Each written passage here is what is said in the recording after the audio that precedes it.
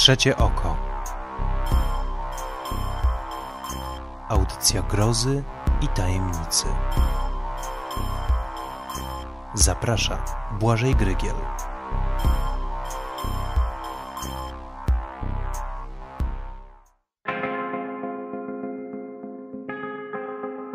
Paweł Leszczyński. Komputerowa tęcza.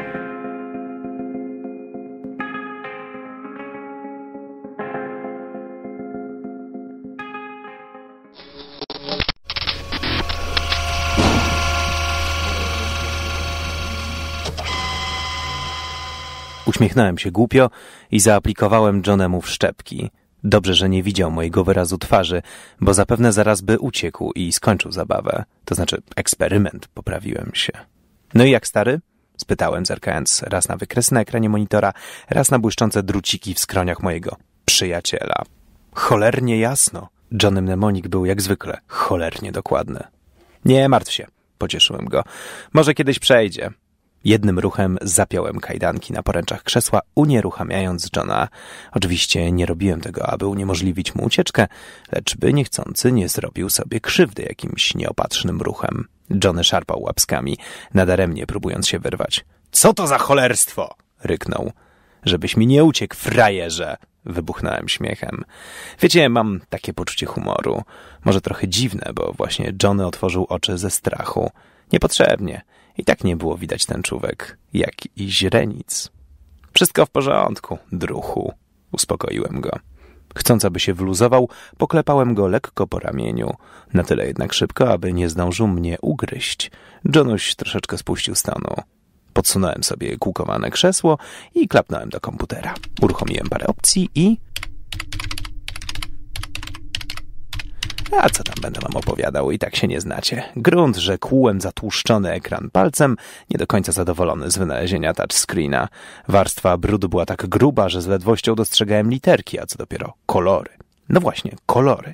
Oto biegło, ale teraz nie mam czasu tego wyjaśniać, bo mój kumpel siedzi jak trusia po zaaplikowaniu mu koloidu koranfabidynu. Nie, to nie kolejny środek na przeczyszczenie. Jacyś naukowcy wynaleźli go całkiem niedawno i jeszcze nie jest legalny. No i pewnie nigdy nie będzie. A ja? A ja mam znajomości. I nie przejmuję się drobnymi skutkami ubocznymi. Johnny też nie, bo jest na to za głupi.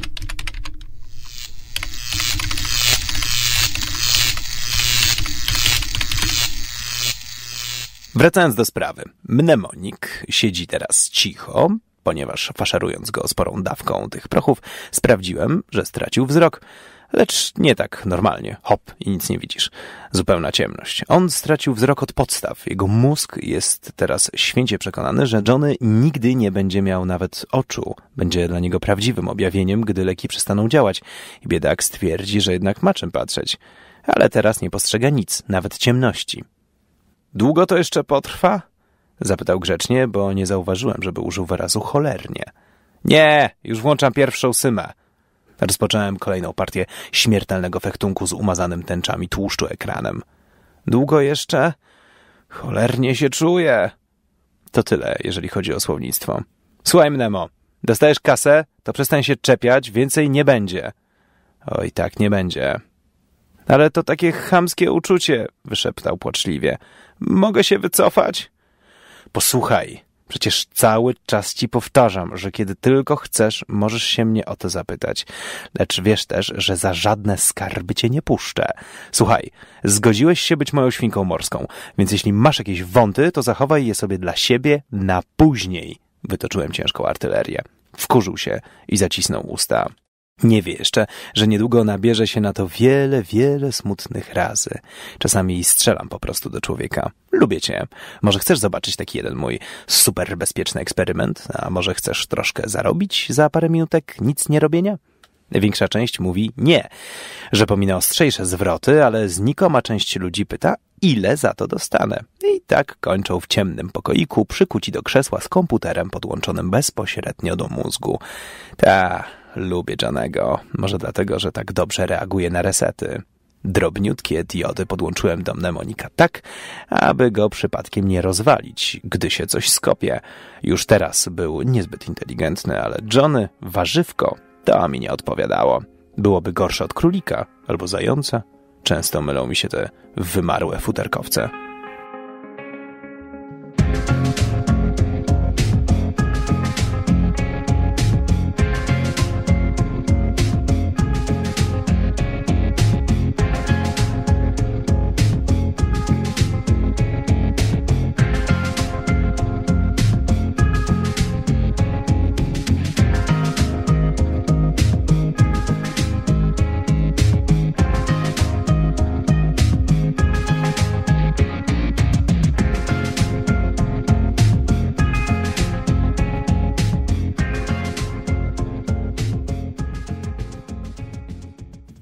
Tu jesteście? No tak, nie znudziło się wam. No więc wyłączyłem oczka mojego przyjaciela i miast tego podłączyłem do środka jego maleńkiego mózgu odpowiedzialnego za wzrok napisany przez siebie program. Wszystko w porządku, powiedziałem, nie fatygując się nawet spojrzeć na teoretycznie kolorowe wykresy. Mnemon uśmiechnął się głupawo. No to jedziemy. Dźgnąłem palcem ikonkę. Start. Co widzisz? Spytałem, ciekawy, jakich słów użyje mój przyjaciel do określenia braku kolorów. Znowu te moje poczucie humoru. Cholerna biel! Razi mnie! Powiedział w skupieniu, a ja zobaczyłem, że zawzięcie mruga powiekami. No te, odruchy bezwarunkowe pozostały. Ponownie zadałem parę celnych pchnięć monitorowi i powieki się wyłączyły. Jeszcze trochę, a narobiłyby wiatru. Żegnaj, frajerze! Pomyślałem i wymierzyłem kłykcia do ostatecznego ataku. Teraz widzę jakieś cholerne czarne plamki. Przerwał, nim zdążyłem cokolwiek włączyć. Jego zmarszczone krzaczaste brwi mówiły, że nie żartuje. W dole ekranu zaczęła palić się mała ikonka z napisem Uwaga. Napis był po polsku. Zadbałem o to, pisząc ten program. Na filmach zawsze jest napis Warning, a ja naprawdę bardzo tego nie lubię. Takie drobne zboczenie zawodowe. Ale zaraz, czy napis uwaga, teraz zajmujący pół ekranu z trzema wykrzyknikami, nie powinien jarzyć się w patriotycznych biało-czerwonych barwach? Zdziwiony wszedłem do kodu programowania. W górnym prawym rogu, zdeformowany przez brud, pojawił się cały czerwony napis Warning. Ten okropny angielski. Na dodatek cały ekran migał jaskrawymi kolorami, a głośniki wypluwały z siebie suche słowa. Warning, warning.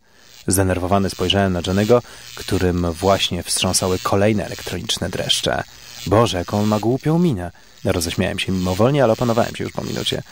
Jeśli się nie pospieszę, to może go wykasować. Zareagowałem szybko, wytrwale reanimując system. To była jakaś mała pomyłka. Poprawiłem błędy w programie i niecierpliwie zeskanowałem mnemonika. Nie wykasowało go. Prawda? Nie chcę, by teraz spanikował i... Boże, Boże, Boże, Boże, Boże... Uff zbiory pamięciowe świnka zostały nienaruszone. Chyba winien wam jestem wyjaśnienia.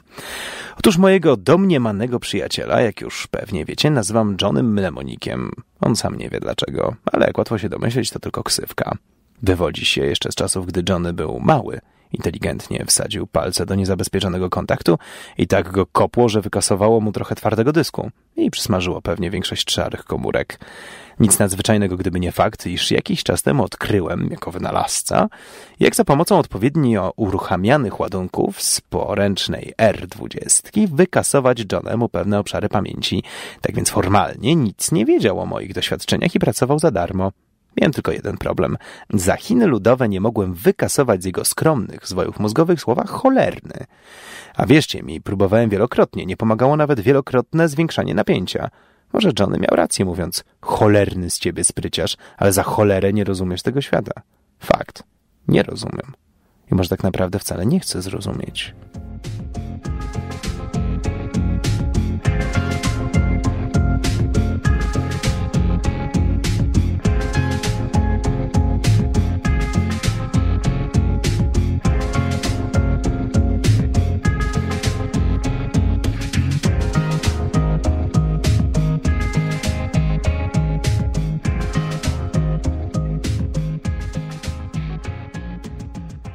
Kiedy wszystko było w porządku, zaaplikowałem mu do mózgu jedno ze zdjęć.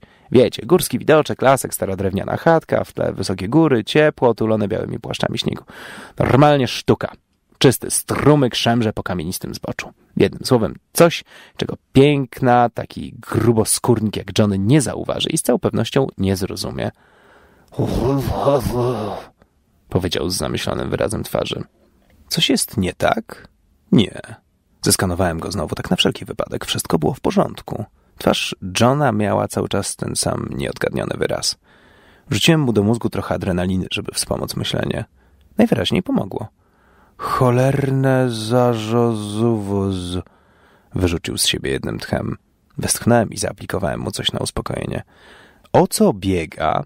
spytałem, mówiąc na tyle powoli, aby mnie zrozumiał. Nie baw się i załatw to szybko. Po czego wrzucasz mi te...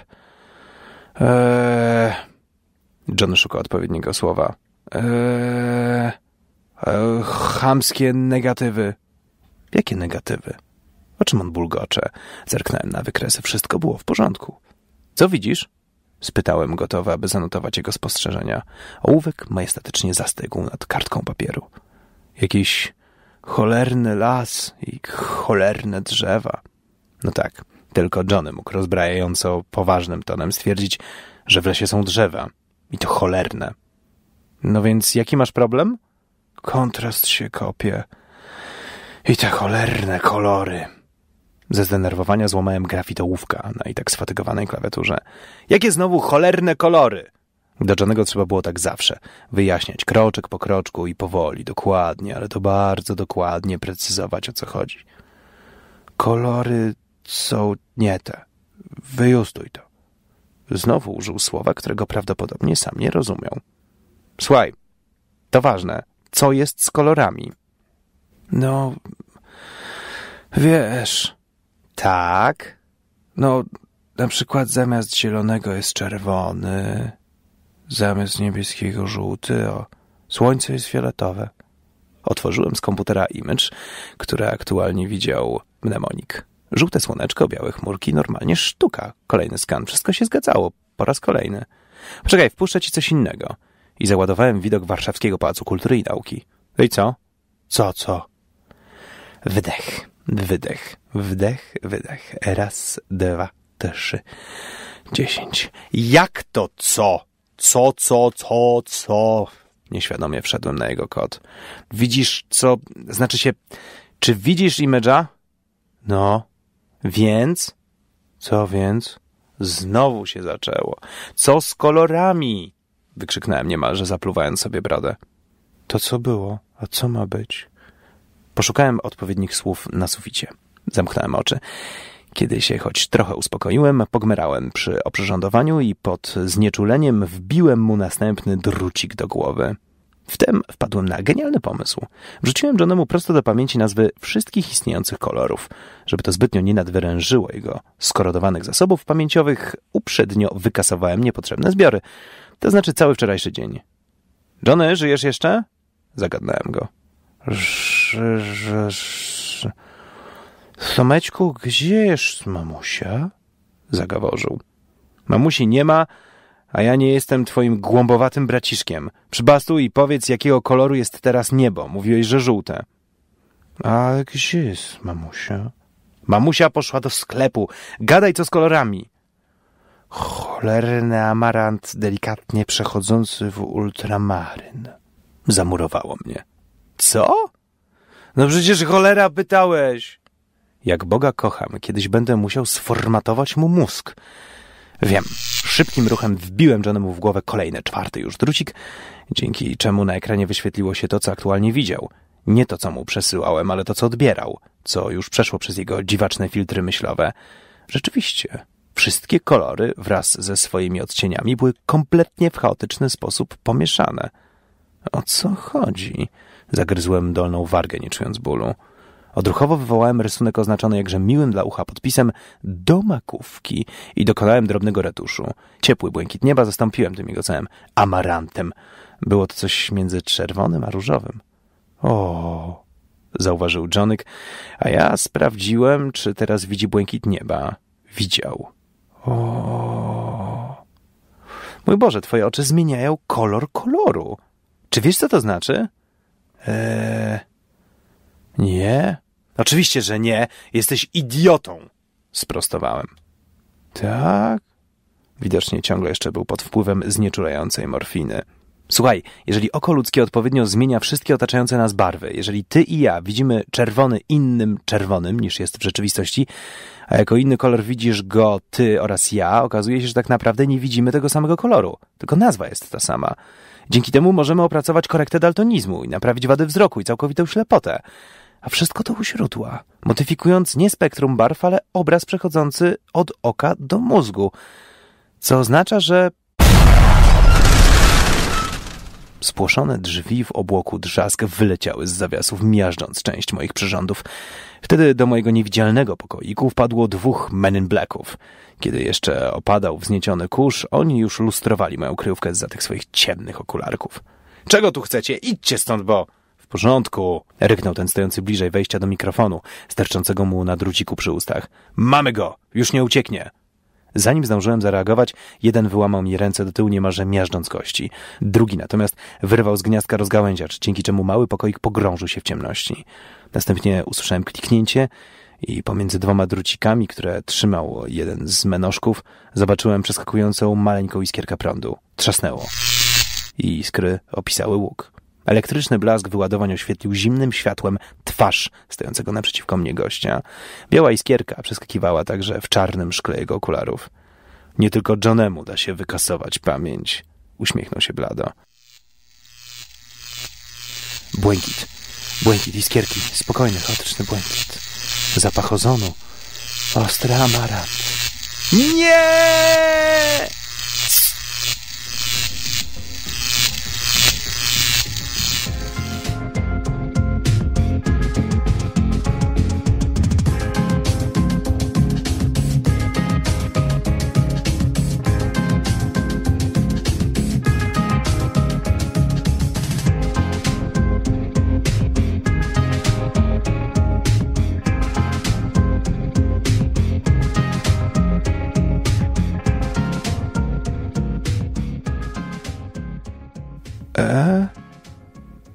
Zerwałem się z łóżka.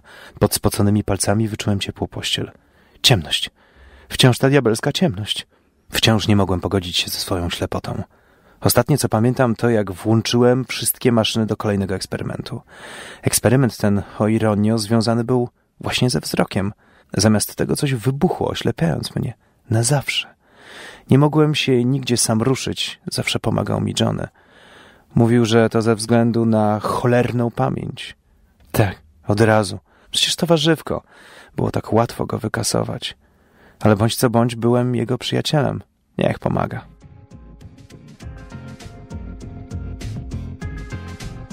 Szliśmy chodnikiem. To, opisywałem mu swoje przykre doznania, co najbardziej mnie denerwuje, to to, że patrząc na słońce widzę tylko... Zatrzymaliśmy się. Widzę tylko... Dlaczego stoimy? Usłyszałem szept Johnego. Nie wszystko da się wykasować. Co? O co chodzi? Dlaczego nie powiedziałeś cholera, co? Popchnął mnie. Lekko. Cudem nie straciłem równowagi. Co robisz? O co? Cu... Cu... Ciągła ciemność. I amarant.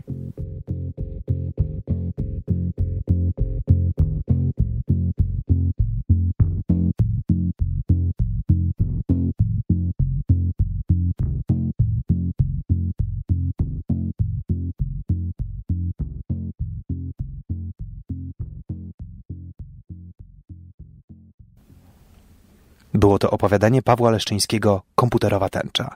Przeczytał i muzyką opatrzył Błażej Grygiel.